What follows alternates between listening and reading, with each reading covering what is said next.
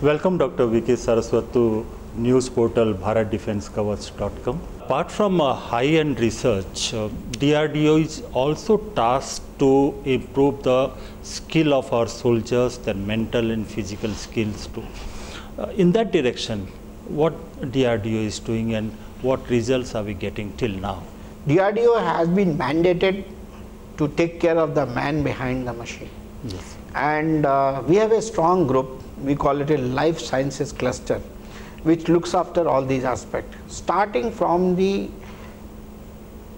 test procedures for selecting the right person for the right job in all the three armed forces, where we have given uh, the selection procedure, the test procedure for how to select a man with respect to his attitude, aptitude, physical, mental parameters. Our laboratory uh, here in Delhi looks after, we call it DIPR.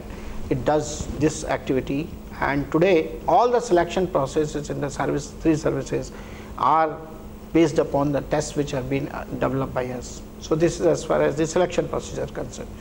Next one is protecting them against various environments in which they are firing. The, the guy who is in the say high altitudes, cold region where oxygen is low, we have created many equipments, devices, clothing which are useful for them to them to you know combat that kind of environment. There is another psychological aspect when a soldier is deployed on such uh, such terrains. So we also study their psychological behavior, their their fatigue behavior, and also suggest what kind of measures they have to take. So this group is doing fantastic work. Third one is we also provide them wherever shortages are there. For example, if you are in the Leh Ladakh region, Yes. uh, once upon a time there never used to be any vegetable. The entire set quantity of vegetable used to be procured, Procured from- Delhi and Chandigarh and spending a lot of money. And in addition to that, since the winter season comes and the transportation becomes a problem, they have to stockpile both diesel and vegetables. vegetable. All this has been a story of past now. Today, with the help of our lab today in the area like Leh and Ladakh, 70% of the requirement of the army today deployed there in terms of vegetables and other fruits is being met by the products which have been developed by our DIHAR lab.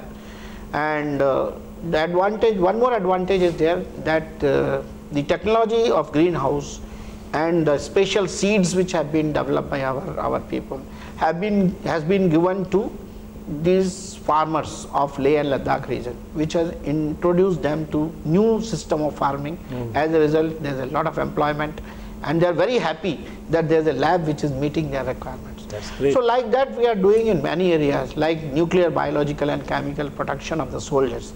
We are making suits for them. We are giving decontamination system. Hmm. We are also making special kits for them to, in case they are affected, they should be able to inject an hmm. antidote immediately. Like that, many products have been done in our life sciences laboratory. The satisfaction level of the armed forces uh, in this area is very high. In fact, they love our life science Oh, laboratories great. because the amount of support which has been given is tremendous. Thank you so much for talking to us and wish you all the best. Thank for you so much. Thank you. future Nice talking to Thank you. you. Nice talking.